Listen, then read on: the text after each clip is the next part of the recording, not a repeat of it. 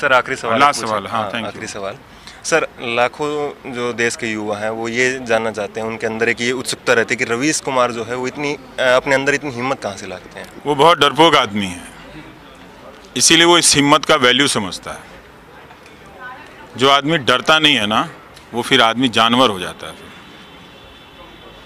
अगर आप डरोगे नहीं ना रोज तब आप उस हिम्मत को नहीं छू सकते। जिस दिन आप हमेशा के लिए डरना बंद कर दोगे आप जानवर हो जाओगे फिर। इसीलिए। तो कोई बहादुर बहादुर नहीं है। लाखों युवा ये सब जानना छोड़ें और पूछे कि उनको नौकरी मिल रही है कि नहीं मिल रही है। वो ये पूछना शुरू करें कि रवीश कुमार बहादुर है या नहीं, ये सब सवाल बंद करें और पूछें कि जहाँ वो कॉलेज में जा रहे हैं, वहाँ ढंग का मास्टर आ रहा है कि नहीं आ रहा है पढ़ाने के लिए। लाखों युवा अपनी पॉलिटिकल अंडरस्टैंडिंग और क्वालिटी को ठीक रखें पहले। कि चार चार साल कॉलेज में से पढ़ के निकल जाते हैं, दो प्रोफेसर नहीं आता और उन्हें कोई फ़र्क नहीं पड़ता है।